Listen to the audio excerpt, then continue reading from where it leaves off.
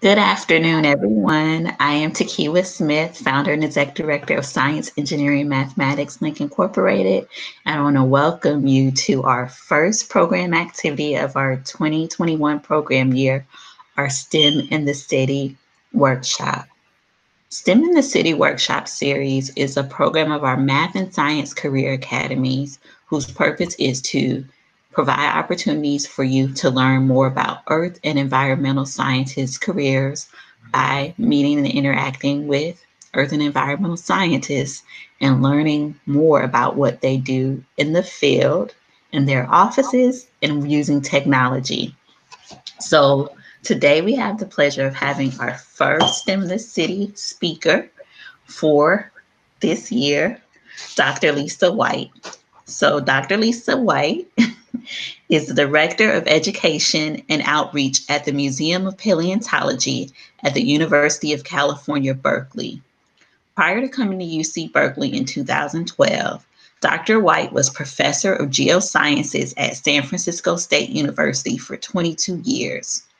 Dr. White has extensive experience with science outreach programs for urban students, and she is active in efforts to increase diversity in the geosciences a micropaleontologist, I don't even know what that is, by training, and fellow and a fellow of the California Academy of Sciences and the Geological Sciences Society, excuse me, of America. Dr. White guides students in oceanographic. You can tell I'm not a, earth environmental scientist. Let me slow that down. Oceanographic Dr. White will correct me, and marine geoscience learning experience when actual field work is possible.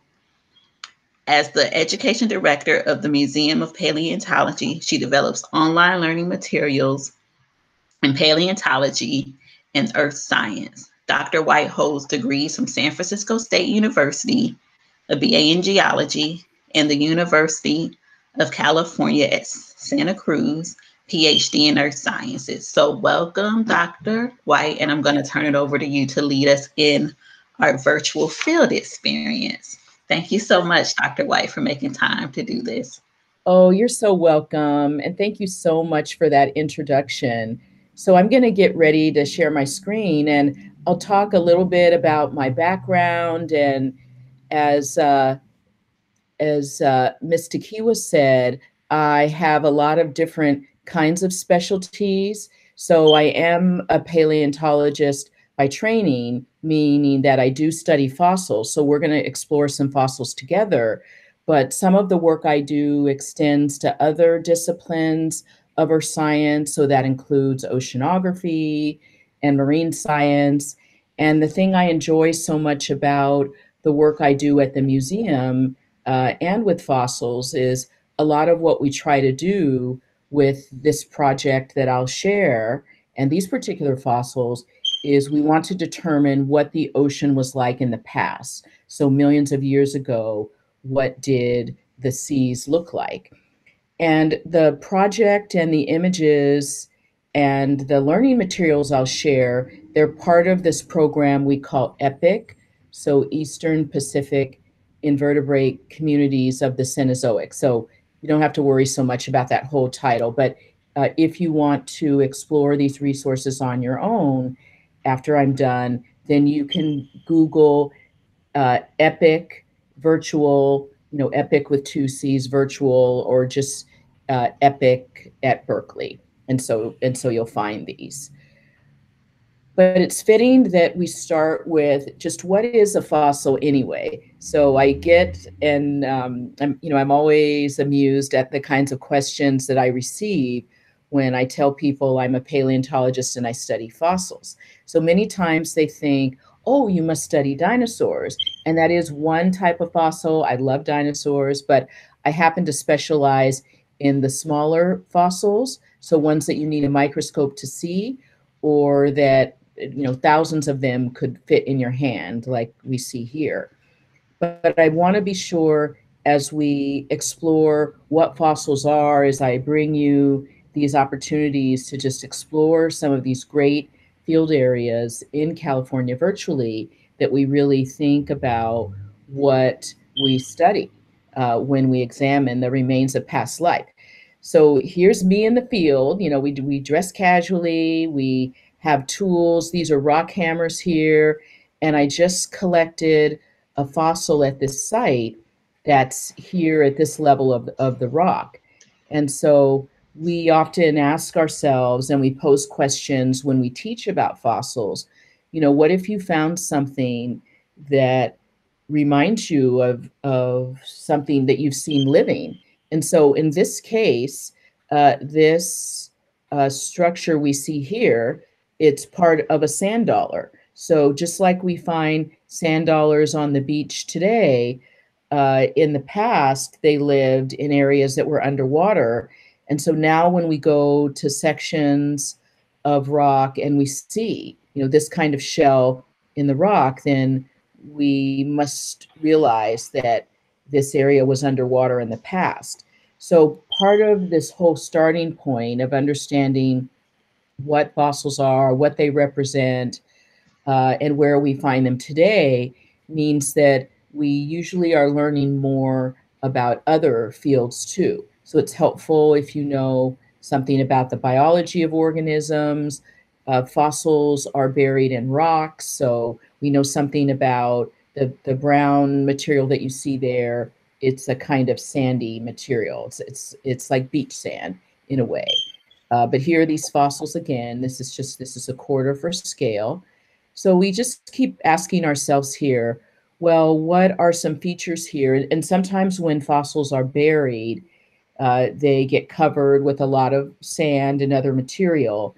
And so sometimes we can't see all the features that we would normally see, say in a sand dollar, because you know this has been buried for some time. But but we mostly keep asking, you know, how can we figure out what this is? You know, even if we can't see all the features, how do we solve this mystery of, of what kind of fossil this is? So the text that's here just explains why we even took this project on. So why we're excited as a museum of paleontology to share these virtual experiences and the opportunity to really focus on what kind of evidence we gather when we go to these field trip places to understand what we see there.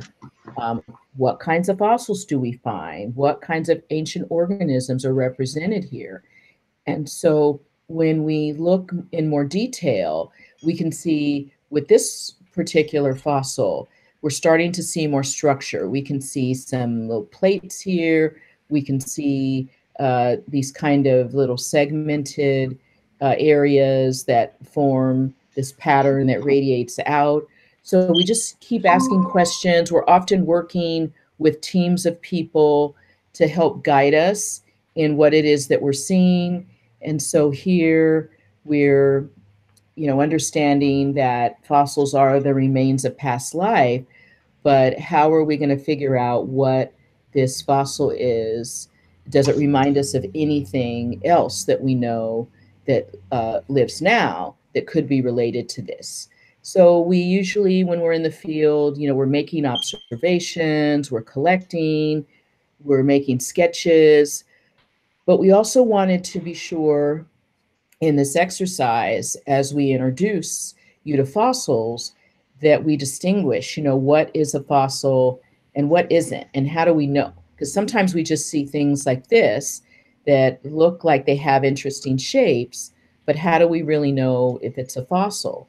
And because fossils are preserved in rocks, like we see over here on the left, where we're looking at an up close picture of sand, we make all these different kinds of distinctions about the actual remains of past life that's in the form of either a shell or a bone, or even um, leaves and plants can be fossilized, uh, or you know, it just it might be a rock. So, so let's go back to our fossils from the area we were discussing before and see, okay, well, this looks like another one of those circular sand dollars. You know, this looks like it might be something else, but it sure has these kinds of folds and ridges. You know, sometimes when we're looking at rocks that you might have pieces of other things that maybe aren't as well defined, but we all we take all of this into account and it's part of our data gathering and the information that we collect. So we'll just keep looking here as we go through this introduction to fossils and realize that sometimes we find things like this. So in this photo, I'm holding what is mostly a uh, group of sand grains. So all these little blue colors that you see here, and then there's some light ones, uh, are a kind of sand, a kind of beach sand again. But in this case, I don't see any shells of fossils, so I don't see anything that looks like it is the remains of a shell or a bone or anything like that. And even if we take a close look, you know, at the photo over here on the left, it looks like blue and gray and white grains. So sometimes when you're out in the field, you know, not everything you're seeing is a fossil. And so we need to distinguish between that, between what is and what isn't. But once your eyes are, are, are trained, you know, and used to looking or um, if you're able to anticipate, you know, what a fossil may look like, then this is just a, a classic kind of shell. It's a it's a clam shell. We're looking at it from the side, and the you know, and the two valves would come together in a plane that we call symmetry. So you know, one valve mirror images the other. So that can be important when we're trying to distinguish between some different types of clams. You know, they might have different patterns of symmetry. They might look all look a little bit different, you know, but we know they're all clams. And then sometimes if we're, again, just gathering information about the ancient life that we see, you know, sometimes we don't see a shell at all. We might see an impression of a fossil, uh, or we might see a pattern that looks uh, completely different. So this particular fossil, by the way, it's called a trilobite. So uh, it's an ancient, sort of like, you know, a, a cockroach of its day but it lived in the ocean. So it's sort of like a, a marine pill bug or something that had, you know, all these different segments to it. Here's its head up here. It had eyes there and there. So there's so much variety to life in the past that it's amazing, you know, what, what is there. So back to these sand dollars, we have a lot of them. So this is a photograph uh, from our U- museum, uh, UC, University of California Museum of Paleontology. So typically, what we'll do is after we've been in the field and we've examined uh, some of these fossils, then we're trying to characterize them.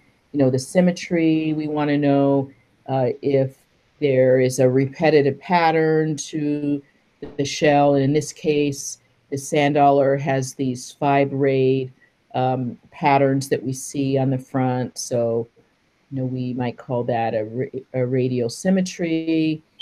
And then we might see other shells that, so this looks like something that we also saw in that first field area where it has these folded ridges and everything. So we could measure that and think about what that means and uh, try to, again, just better understand, you know, what these patterns uh, of the organism are like, how they're distinctive from one or the other, and then what that tells us, you know, about past life.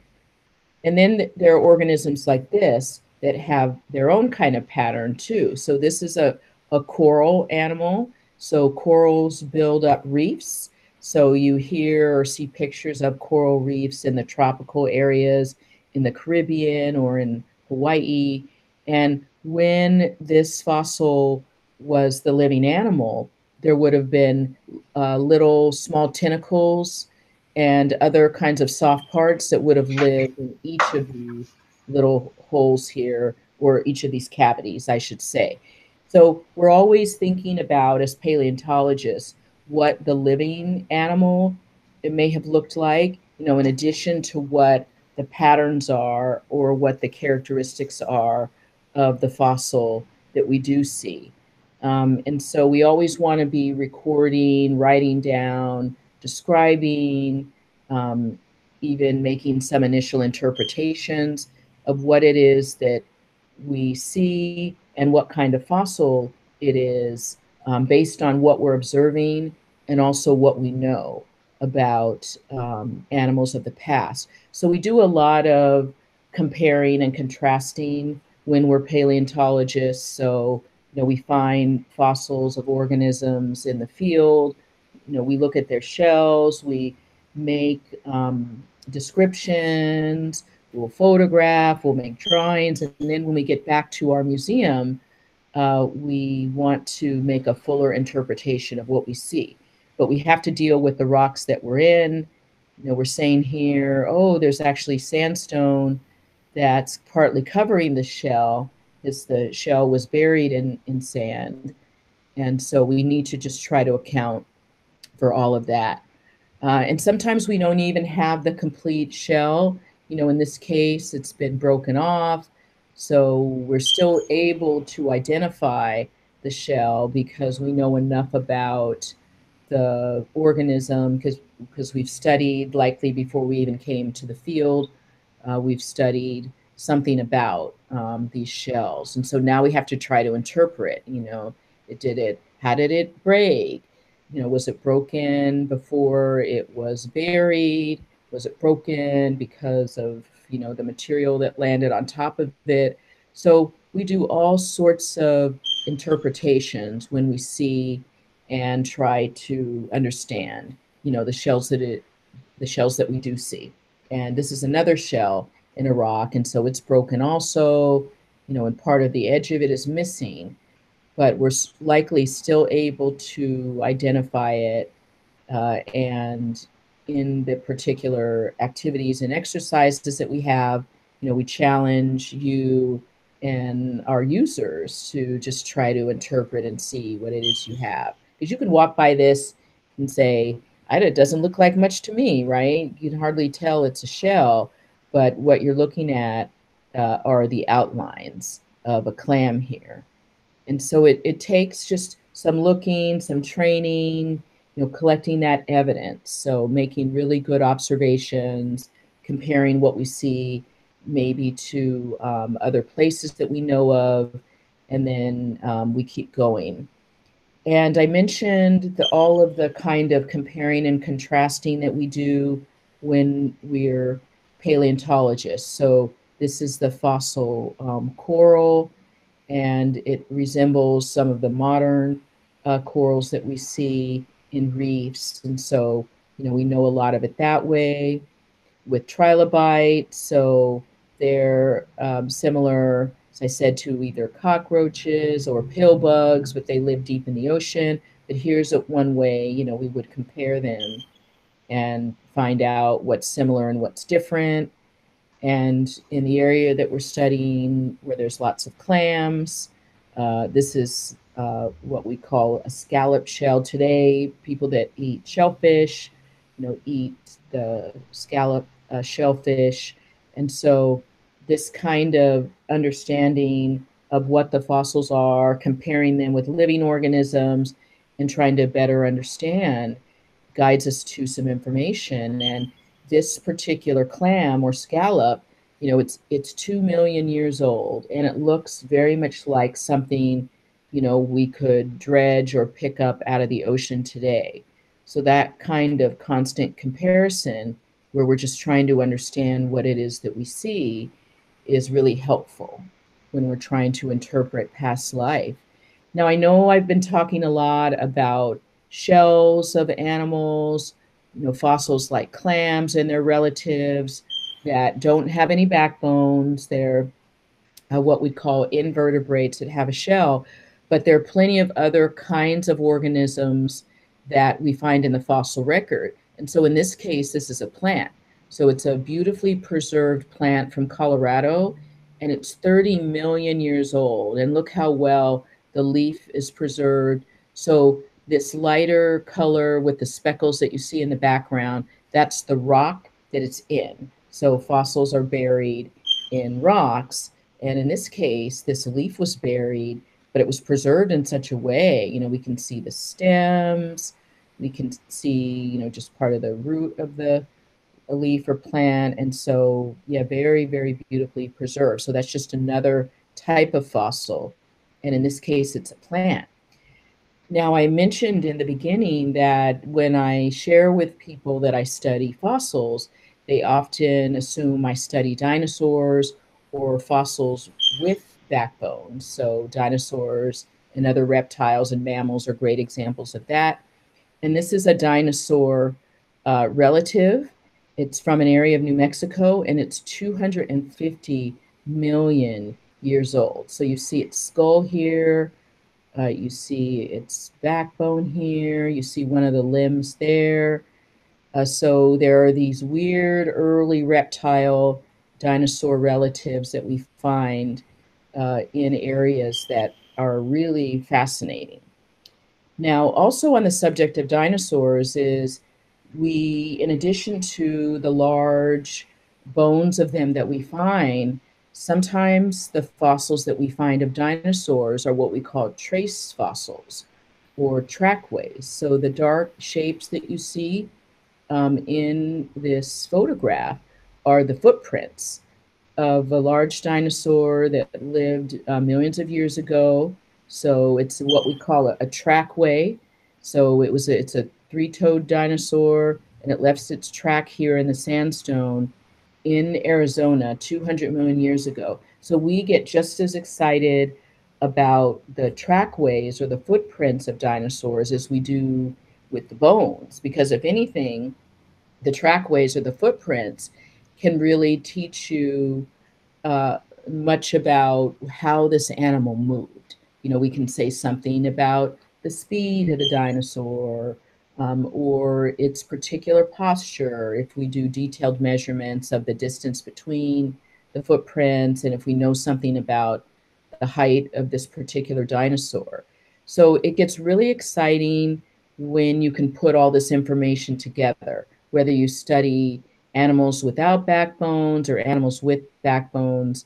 We need to constantly do the kind of observation and interpretation of what we find. And back to the invertebrate fossils for a minute, the ones um, with shells, we do careful measurements and, you know, we'll want to know the size and the overall shape. And so in this case, this bivalve clam um, that's 11,000 years old has some particular features. And this sand dollar, I know we talked about sand dollars before. Um, so this one's 2 million years old and has those features and uh, this is the a coral and so um, 30 million years old for this and you can get a sense of of its size so we do a lot of classifying describing interpretation this is a snail or we call it a gastropod so it's a um, fossil that's about 10,000 years old from an area of Mexico and then back to this trilobite again it's almost 500 million years old, so 485 million years old. So as we interpret these kinds of fossils, you know, we'll often use this kind of shading and colors just to show the different parts of what's kind of an ancient pill bug here that lived in marine waters. So we make a distinction between the axis of the shell and then the edges of the shell so we can get, you know, very detailed and technical in our descriptions. And in this guide, uh, you'll find other links to other field guides. And, you know, we just encourage people that are very curious about fossils to use these kinds of resources. So what I'll do in uh, the next part of the presentation is I want to take you to an area of California that is about 200 uh, miles south of San Francisco. So I'm at home in San Francisco now. And several years ago, when we started this project, uh, we went to the Kettleman Hills. It's near the city of Fresno in California, so about 200 miles south. And it's in a part of our state that we call the Central Valley. So it's mostly flat there, but there's an unusual structure in this valley that is this series of mountains that are color coded here in green. And it's been an important area to, for study because it has oil. And uh, oil ultimately does come from the remains of fossils and other life. So it's all that organic material that gets buried in rocks. And then over time, with heat and pressure, it can transform to oil. So when we study these areas, we use maps to help us understand what the geology is. And so, geology, broadly speaking, is the study of the earth. It can include paleontology, the study of past life, but it can also include studying these rocks further. So, what we're going to do is we explore more of these virtual field experiences. Um, let's uh, let's actually explore the fossils a little bit more, and then we'll do some background uh, on the geology as well, and we'll just try to put put this all together. And one of the ways that we can view this area is through a Google map. And so the last image that I showed you that had those colored kind of rings is a map that shows through that kind of color coding what we see. But now we're looking at this area of Central California from the air. So this is a Google map. And so the green squares that you see over here, that's the farmland um, in this part of our state. And then here are the mountainous areas that have the fossils. And then there's another little valley in here, and then another mountainous region. But I'll be taking you to areas here that will allow us to, again, just explore, you know, what it is that we're seeing in these areas. And one thing that's uh, uh, pretty striking when you go out to these areas is it can be really dry. So the year that we were doing this work, it was almost summer, you know, it was late spring, and it was a year that was particularly dry in California. You know, unfortunately, we've had some drought years, and so there's just not much in the way of, of green here. You know, it's very, very dry grass or a couple little areas here. But, you know, the reason we go is we're interested in the fossils here and in knowing uh, more about this particular area. So back to some of these invertebrate shells that, again, they're so abundant in these rock areas that they just really you know jump out at you as you look um, in the rocks there. And so we're just going to spend a little bit of time uh, looking at some features, and we're going to try to just understand, you know, what it is that we know about the kinds of organisms that live here and how they're all related. And so here's just an image of a sample of just some of the different kinds of organisms that we find all together because usually with these formations, so these rock areas where we go, you find a variety of different kinds of fossils, different sizes. You know, these are sand dollars. There's some big ones. Clearly, there's some small ones here. But we love to just take people in the field and explore these areas so we can know more about the ancient history here. And in all the years I was a professor, at San Francisco State University, I would take my classes to this area as part of their project for that particular paleontology class. And so here's a group of students from one of the years that we all went out. Uh, and here are some of the things that are helpful when we go out to these areas is just knowing the age of the rocks. So this is in millions of years. So this the fossils that I'm going to be showing you are 5 million years old. So, back 5 million years ago, uh, this area would have been very much different than what we find today. And all these different names are just the categories of uh, time and also the names of what we call the formations, these units that that help us understand the fossils. So there's a lot of different science behind what it is that we see.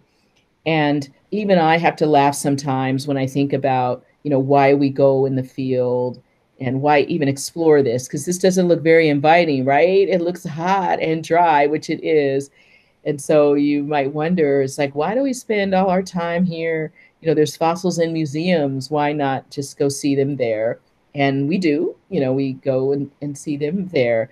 But those collections start with, you know, going out to the field areas and being able to observe and collect and try to interpret, you know, what it is that you see. And so in this virtual experience, there's a lot of text and explanation on the left side, um, but that's just our way of um, sharing, you know, what it is that you see there. And so you can go to uh, images like this. So the colleagues that I was working with uh, take a lot of really high resolution images and from far away, it didn't look like there was much at this outcrop. But if we look closely, there's actually this whole bed here of shells, oops, that um, is in the center there.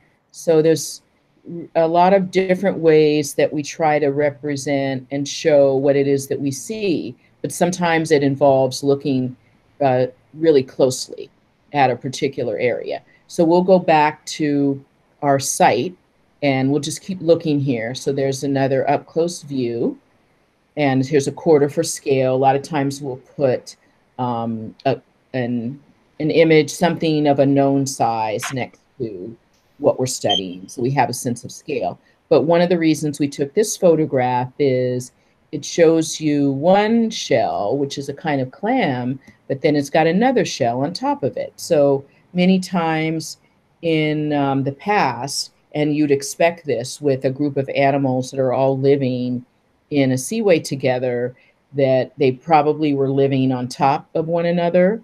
And so we just try to capture all that and um, give a sense for what might be happening here.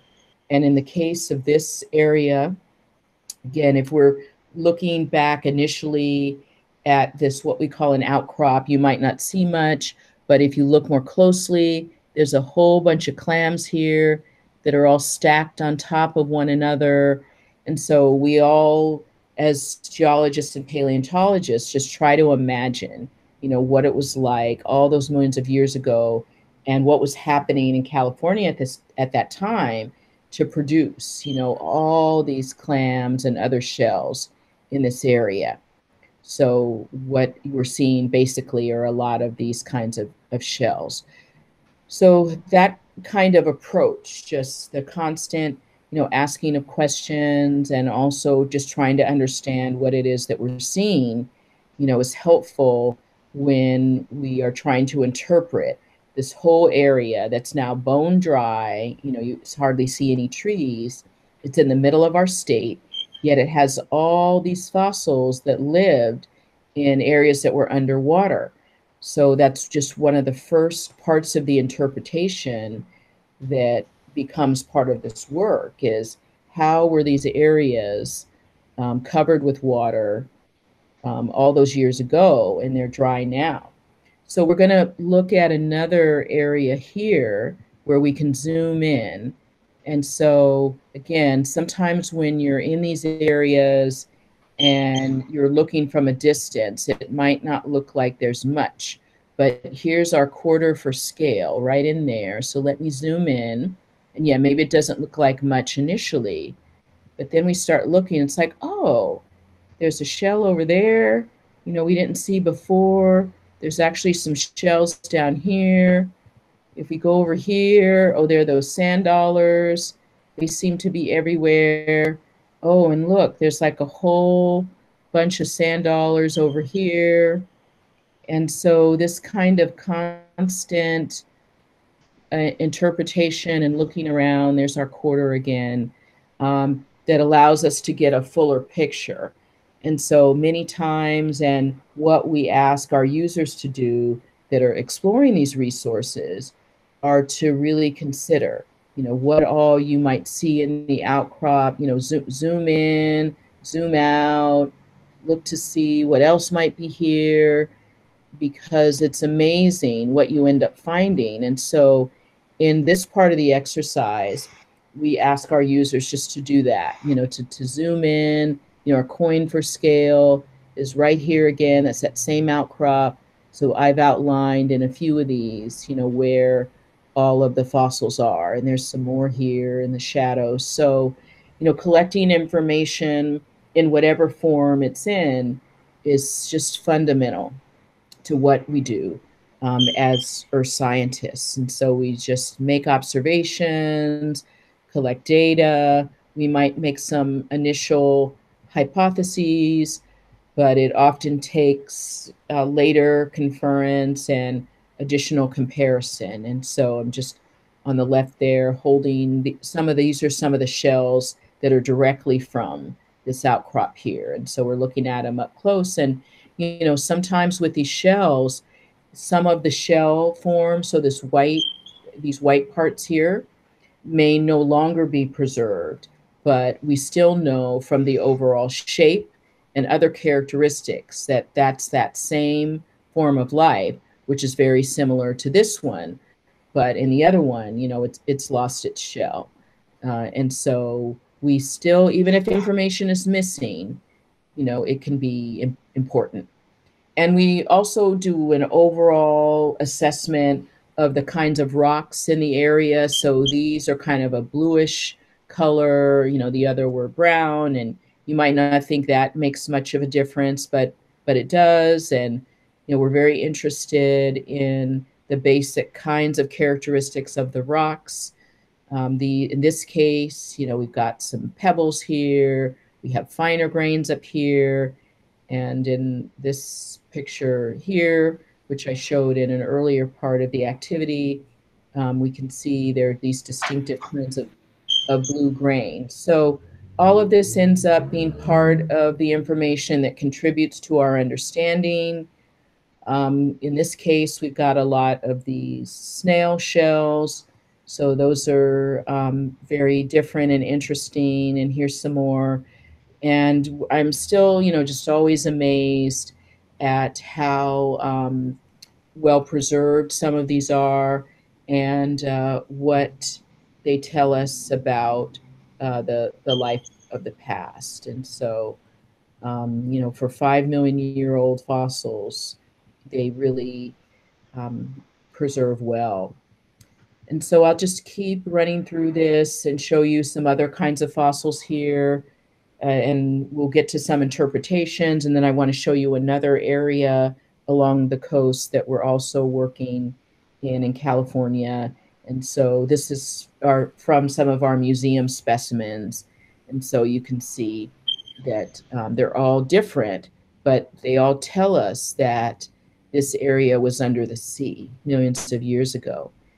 And a lot of times we have fun to where we oops, need that. Well, where we'll challenge ourselves to try to understand, you know, what these sand dollars that we find in all these dry rocks, you know, what might that environment have looked like all those years ago? And so that was just a fun look at an area um, in modern Monterey Bay where we know um, we find those kinds of fossils. And this video here, so we also ask ourselves, it's like, hmm, where do we find today certain kinds of clams and especially those ones that we call scallops with the ridges. And so this is an area um, on this, a sandy bank, so in the ocean, where all of a sudden, you know, out of the water comes this clam. So, ooh, See, when it moves around like that, they have such an interesting way of moving around. But see, that's that same shape. So all of those fossils that we find in these this area of Central California, that is again bone dry now, but the fossils look just like that. So that's our biggest clue that this area must have been underwater because this sure looks like that. And we know that these kinds of clams, you know, only live in marine waters. So that's the kind of information we put together to really help us understand uh, the interpretation of the fossils and the environments of past life. And then once again, we find that some of the animals and the shells, so this shell could serve as the solid surface for another kind of animal that attaches on top of it, which is a, a barnacle.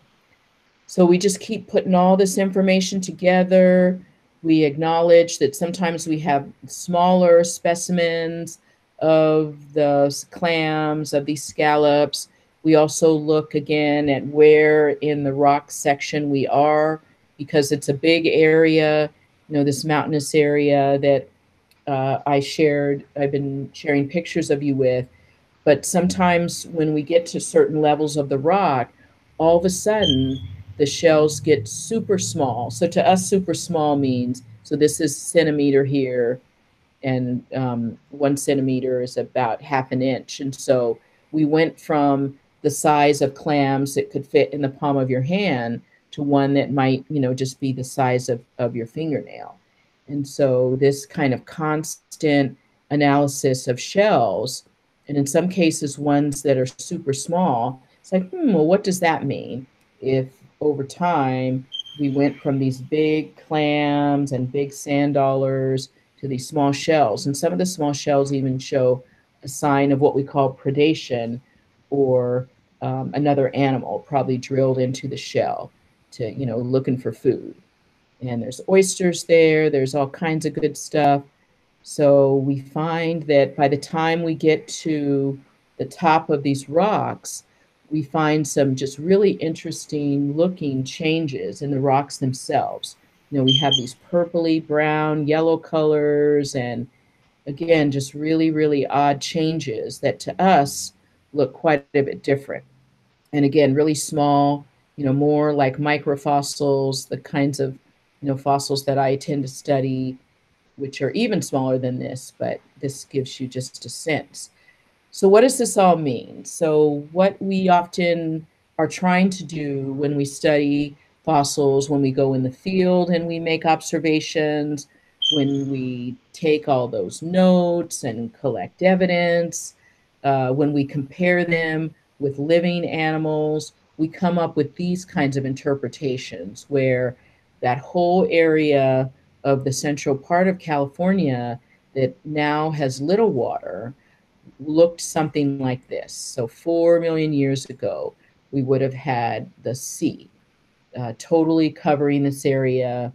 And we have animals like the scallops, showed you plenty of photos of those, snails, there are kinds of mussels, clams, barnacles. We even have crabs there. Look at where our sand dollar is. So we know that uh, given this area, so where I am in San Francisco is more to the north, so a little bit off the map. But this inland sea here, there's Fresno, there's where Yosemite National Park would be here. But millions of years ago, there was this big inland sea that would have stretched, you know, almost all the way to the Sierra Nevada. And so the area where we collected these fossils, Coalinga, would have been, been underwater. So that was four million years ago. But we know that through time, if we go 1 million years ago, then we see the shrinking of this inland sea and um, the more emergence of land, you know, which is the green areas. And so this kind of approach, you know, collecting evidence, just observing the fossils, putting it together with uh, modern animals is really fundamental to, to what we do in, in paleontology. And so now what I want to do, oh, and there's the team of people I work with. And so typically when paleontologists and geologists, when we do our work, uh, we're working with teams to uh, collect data, capture photographs, and do our work together. So there we are there. So now what I'm going to do is I'm going to take you to um, a different part of the state and so I'm going to click over and show you, this is from uh, what we call the Central uh, California coast. And so um, here we also have an opportunity to explore sediments and landscapes and fossils. Um, but now we're at the beach. So we're at a modern day beach, but we're also going to look at rocks that have fossils in them that probably represent an ancient beach.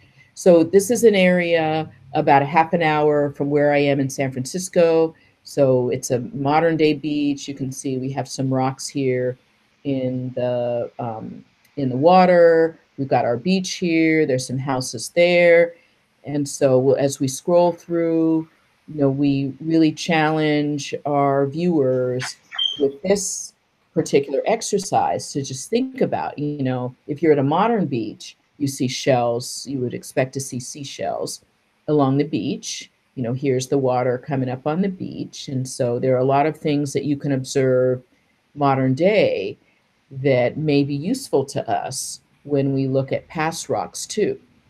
And this is another beach area, so it's uh, a little further from San Francisco, but it also has a lot of interesting features. And so along this beach, we've got kind of a flat area here. You know, we've got our cliffs in the background, but there are definitely some differences between the two beaches. So, you know, we are always wanting to, you know, make observations. So we set this up with, you know, let's just have a closer look. So yes, geologists and paleontologists, we spend a lot of time like looking down at the rocks or up in in the cliffs, but you just never know, you know, what you're going to find in these areas. So we try to just have a lot of fun, you know, with with what we see and and what we do. And so here are some more, you know, these really interesting kinds of fossil shells. So we do our measurements, we just try to figure out what it is that we see you know, with this particular beach area, uh, we had a team that included a photographer, a videographer. Um, we have my um, uh, partner, my collaborator in this work. You know, we were measuring this cliff, and so you know we're all we're all busy at the beach here. So if we keep looking, you know, we try to again put this together with some fossils that we already have in the museum because over all the decades of research in this area, you know, we've been collecting information and trying to understand, you know, what it is that we do see. And so we challenge our um, groups that are using these materials in lesson plans to measure dimensions of fossils and try to determine what the differences are uh, between some of these fossil areas. Some that we find here might look similar to the other area that we were in California. And overall, it's the it's similar in age. So between two million years ago, five million years ago, you know, very long time. Although in geological history, it's younger than um, the oldest forms of life on Earth, but still the same. You know, five million years old is nothing to uh, shake a stick at. But um, so back here at the beach, so those museum specimen photos that I was showing you, um, and some of the close up of the fossils, all come from these areas. And so when we approach the beach here, we look, you know, again, we see these gray rocks in the background um, you know, we see these kind of speckled bands, and that's usually our first question is, oh, that's something different. You know, what could that be? So we keep looking and we're like, oh, yeah, this is where we want you to look. It's like these bands, and even that, those shell horizons are um, quite a bit different from the surrounding rock. And chances are, you know, those are the places where we're going to find some of the fossils that we're looking for. And unlike that first area that I showed you that was from the Central Valley, you know, these rocks have fossils, but they're a lot more broken up. So if you look at just all the white areas and all these kind of curvy, squiggly, um, rounded, um, you know, flat to arch shaped features, they're all parts of shells uh, like we see here, but they're really, really broken up. So in this area, these that we would ask different kinds of questions probably. It's like, you know, why are they so broken up? It's like what's going on in this area that gives us a sense of understanding why sometimes we might find whole shells. And in this case, this is like a cutaway view of a snail. and you know why in this in the same rock you know do we find broken pieces too so it's just a combination of um, different kinds of of evidence and observations that that we would make and uh, like the videos that i showed before a lot of times we're trying to just understand you know how is it that we come to find these thin shells and rocks, and sometimes they're even broken. But you know, how do these clams live anyway? And so, even though they're super slow moving, so you got to watch for this. But you know, it's fun to really kind of um, dig in, if you will, into understanding how these clams live. So this is a modern clam, a living clam. See how it digs into the sediment like that? So it just with a muscle type feature digs in and then these are called the siphons. It's like it's part of the way it breathes um, when it's in the sediment. And but it keeps digging in, digging in, and so see how its shell is lodged. Oh, and that see it spitting out sediment and waste. But being buried like that in the sediment leads us to understand why we see shells in um, these partially uh, buried conditions too.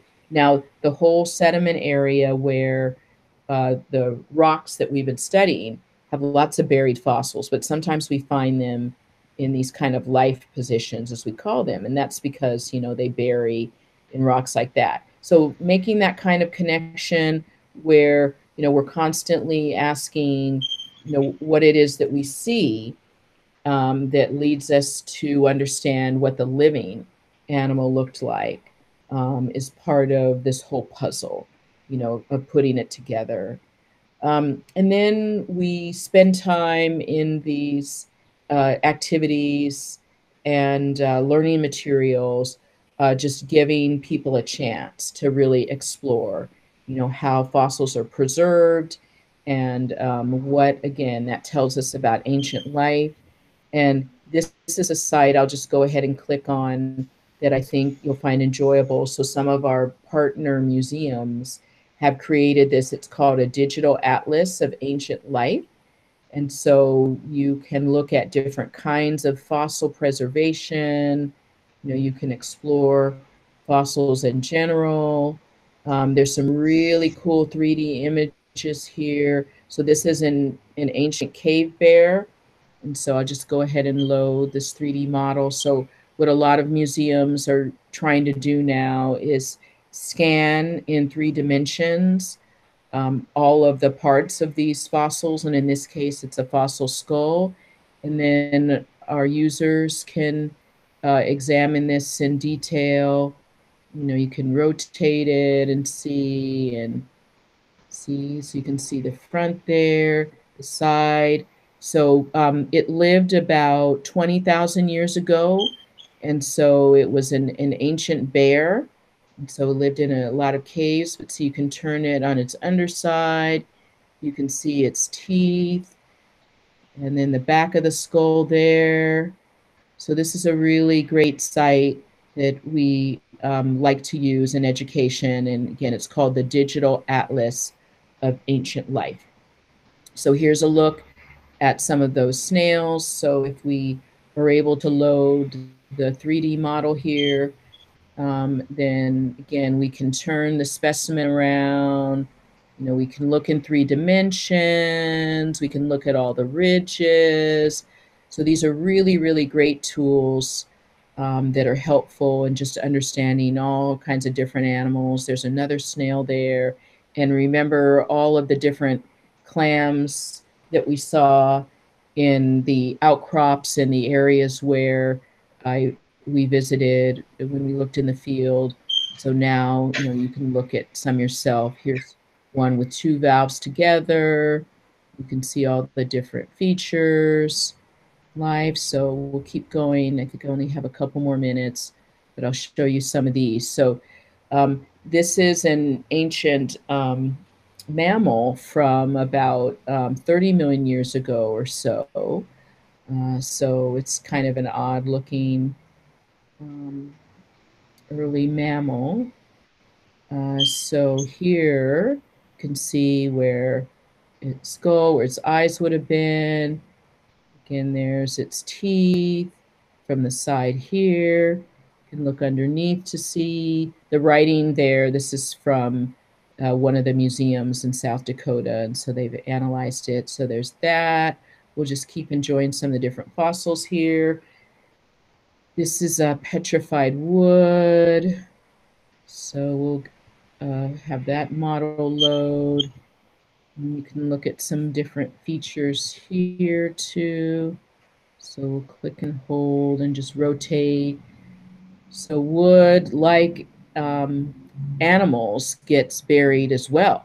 And so then it gets preserved. And uh, yeah, there's just, again, just different kinds of models here of how things um, are preserved. And so this is um, another ancient shell, but in this case, you can see how part of the shell is gone. You know, it's been preserved in this rock, but when we opened the rock, we saw the fossil shell there. And so we're still able to make interpretations and figure out what's going on. This look like some more plants here. This is a cool animal from way back um, 300 million years ago. Um, it's an ancient uh, kind of um, sea star. And so what you'll see when we load this um, is you get this kind of stalk uh, that, actually I might see if I can go full screen on this one. It's got some kind of interesting features. Yeah, so here, what you're looking at are these different little segments. And again, it's preserved in the rock, but uh, what we are able to see um, are just some different parts. So I'll just scroll um, a little bit more and we'll see what else is on this page. And there's some more snails. There's some different kinds of clams.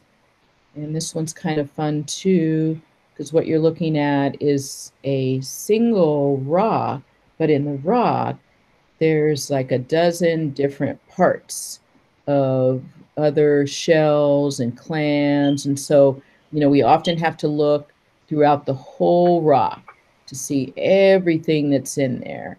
And because, you know, we don't want to miss anything. And so that's just really fun to show uh, when we see that. Uh, and so what I'm going to do actually is I'm going to go back to uh, Miss Takiwa and ask, uh, how am I doing on time? So um, perfect on time. So okay. do you have a few more things to show us or are you? Uh, yeah, um, I'll just, I'll show a few things more. Okay, yep, I'll show a few more things from that digital atlas of life. Um, and then if uh, you or if uh, any questions came in. Um, okay. We don't have any questions yet. So if we have okay. any questions later, we will um, email you a list of the questions to okay. answer. Okay, that sounds great. Um, and so what I'll do is I'll just show a little bit more uh, from uh, that digital atlas where we were and you know using uh, some of these in in our different uh, lesson plans. And so you know it's nice to be able to share in in three dimension you know everything that's here. And so I'll just show uh, just a few more of again just looking. So in you know what we love of course about the three-dimensional website and all of the great scans that are up is it's almost like you know holding it in your hand. And so that's super fun. it looks like it's in your hand because i was kind of like oh that's gross. Yeah i know but it's but it's not uh, a but it's not living so it's all dead but um let me go okay let's see i think we've been on let's click here. And so, uh, Dr. White, these are things that, you know, especially now since we cannot really safely go anywhere, you know, are these yeah. things that if we can imagine we're at the beach looking at fossils if we want to and go to sites like these, or imagine we're at a, a park. There you go. And so, you know, your whole theme of STEM in the city and why I was so excited to present is, you know, fr- from your own home, whatever city you're in, you can just, you know, sort of peer into the life of a scientist and see what we see, you know, and be able to utilize all this information in ways that we do as well because we share you know this the same sites mm-hmm. uh, are shared with other scientists because we also rely you know on these kinds of images. And so so even not in a pandemic this is the way that scientists share yep. information and their their findings with each other. Yep. Yep. Absolutely. And so what we might do is we'll uh, that video is moving fast, but I'll let it go while I talk over it. So we'll share the same, like we'll say, oh, will you send me an image, you know, of this clam? Or I don't have that in my collection. Um, can you share it, you know, with me? Because I'm trying to do some measurements.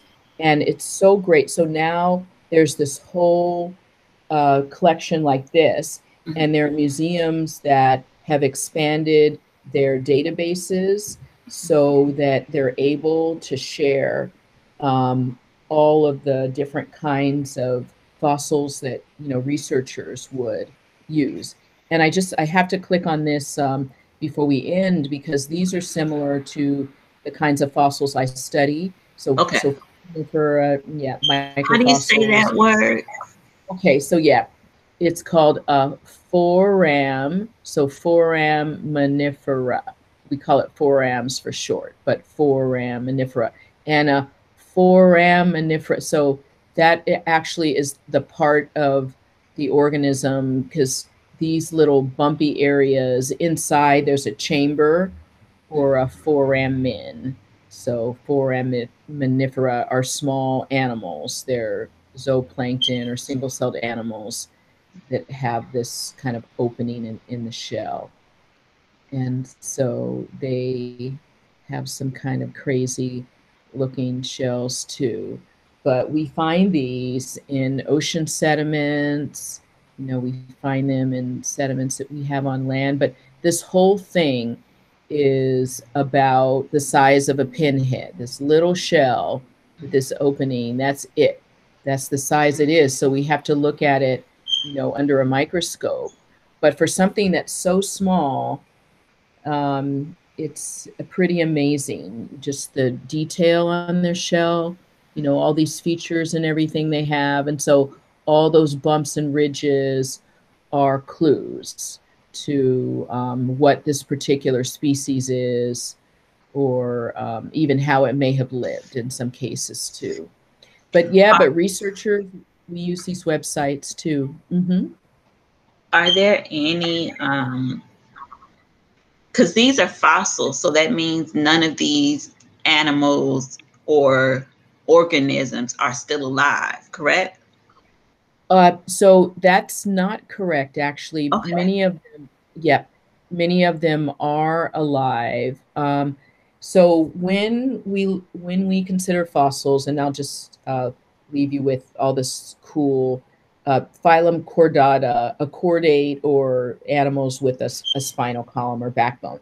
Yeah, so there are some fossils that have modern counterparts. So the the actual fossil, you know, all the shells I was showing from those rocks in the field, uh, those have long been buried, and uh, that um, you know, so all those animals aren't living anymore.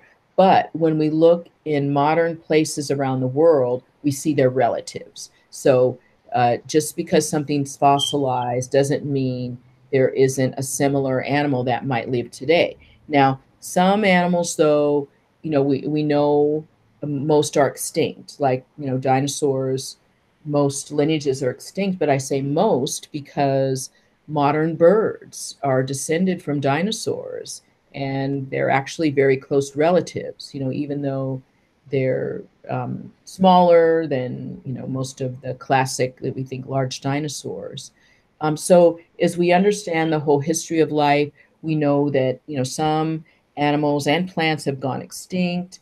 Some lineages have forms of life that um, have changed through time. You know, changed because of evolution and may look different. Uh, but oftentimes we are uh, after, you know, an understanding. Are the ones that you studied, do they have modern they do, like those small, tiny um, forams or foraminifera I was showing. Uh, yes, there are some extinct forms, but there are plenty of forms that live in the ocean today.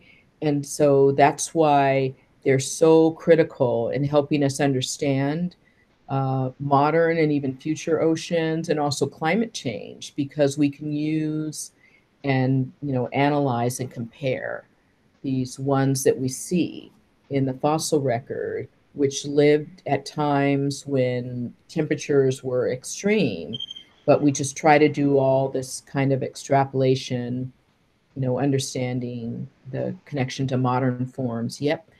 So there now there are some animals that you know have gone completely extinct, and we just got a new grant at the Museum of Paleontology at Berkeley to study some of these ancient um, early, like uh, 500 million years ago, animals that don't have really um, good modern equivalents.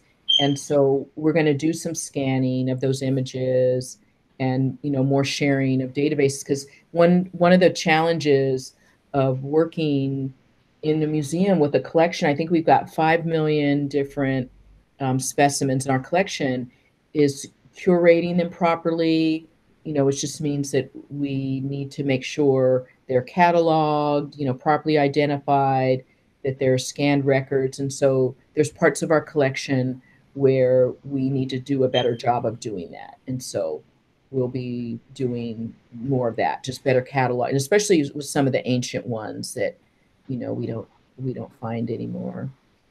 So that's fun. And yeah, here just That is so great. I assume that everything that was a fossil was gone. Like there's no traces of it. No, yeah, there's yeah, but they're equivalent. Yeah. So, you know, by meaning of fossils are things that, you know, are ancient, old life and that are, you know, preserved in a way, but there uh, can be some some modern equivalents. Yeah, for sure. And so, and that's part of how we put, you know, a lot of things together. So, Okay. Here, yes, so there's fun stuff on this page. So I do hope people explore. Here's the big old megalodon tooth and yeah, so I have one question for you, Dr. White.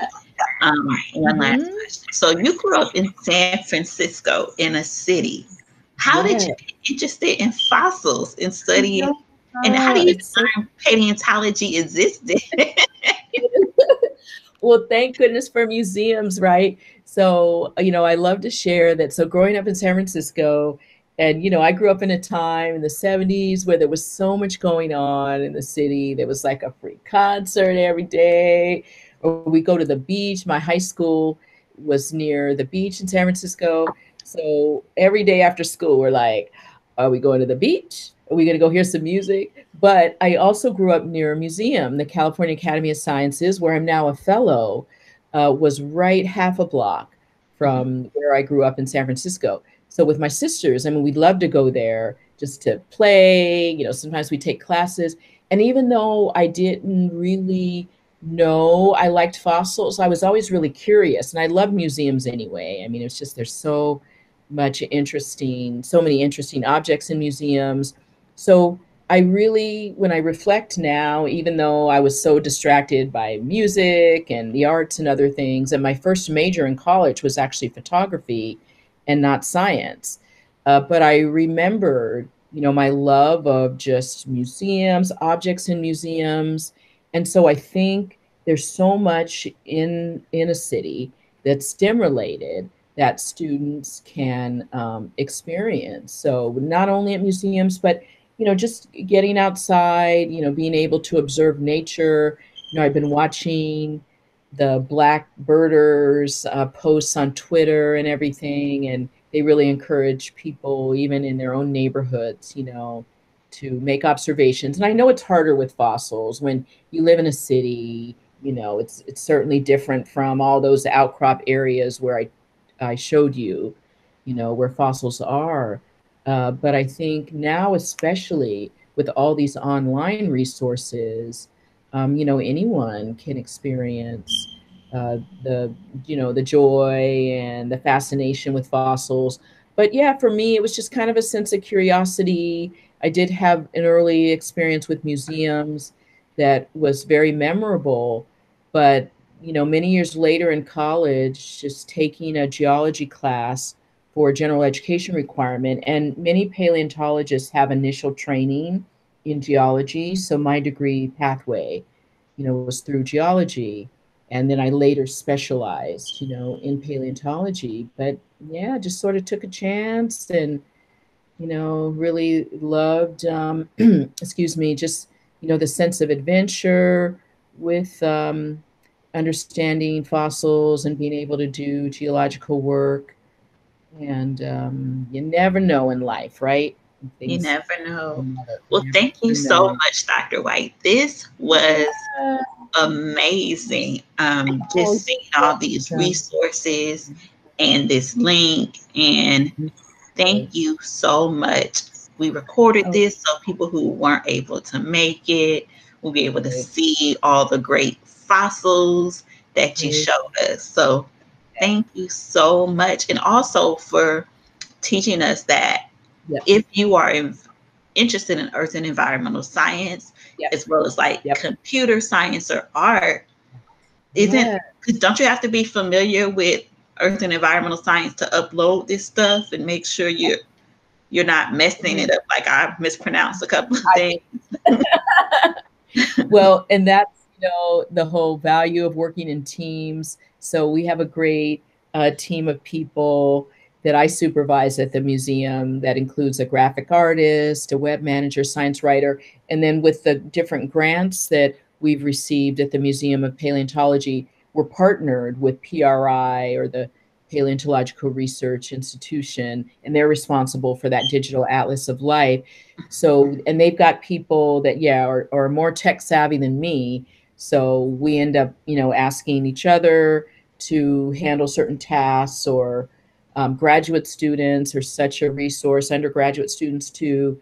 So I get a, you know, a lot of help with what I do. And then I just love to showcase the websites of others. But yeah, it's fascinating. I mean, there are students and um, staff and technicians that are really experienced in scanning images, uploading the atlas of life I was showing with all the 3D images, there's this web uh, hosting site, Sketchfab. And so you basically can send them the 3D images and, and then it gets uploaded. So there are a lot of different uh, supporting platforms for showing 3D images. And that's really the way of museums now. You know, even before the pandemic kept us all from actually going to a museum, uh, museums were busy digitizing and sharing resources in this way. So yeah, it's very 21st century. And you know, when it comes to issues of equity and inclusion and accessibility, I'm very much liking what I'm seeing museum communities at least beginning to do is share these kinds of resources. But I think what we have to work harder on are the guides and you know the learning materials to support what it is everyone sees so that you can learn. And so that's what I hope to work on, continue to work on in the future, is just helping young people understand what they're seeing with the digital images and everything. So, yeah, so stay tuned and happy to assist in a future STEM in the city and glad I could kick it off. Glad. And I, you know, now I'm hoping that when things open up, yep. maybe we can have a STEM in the city at a site. I somewhere know. people collect fossils and rocks and mm-hmm. well, you said we can't collect rocks, right? Because they have to stay where they are. We can yeah. look at the rocks, right? Yeah. Okay. And Pick them up and say what type of rock it is and put it back down, right? Put it back down. We can describe it together. Yeah. And we're talking about just again, when things open up, you know, maybe doing some live streams from the field and, or even from our museum. And I know the graduate students are really eager to um, have a lot of just live events where even if we're not all together, but you know, we could at least be at some of the fossil sites sharing. So um, yeah, I think there can be some really exciting things to come. I'm excited. Well, thank you everyone for joining us or those who will listen to the recording. We hope that you come to Future STEM in the Cities or our future events and follow us on social media. We're on Instagram and at SEM Link as well as Facebook. So thank you so much, Dr. White. Thank you, everyone, and enjoy the rest of your afternoon. And be sure to check out these virtual field experience websites that Dr. White shared for you if you were with us, if you were interested in learning more about fossils and paleontology and mm-hmm. anything else, and geology. geology. Yep, geology, paleontology, yep, field sites and um, and how we interpret um, the past history of life. Okay. All right. Thank Great. you so much. Okay, you're welcome. Everybody have a good good weekend. Bye-bye.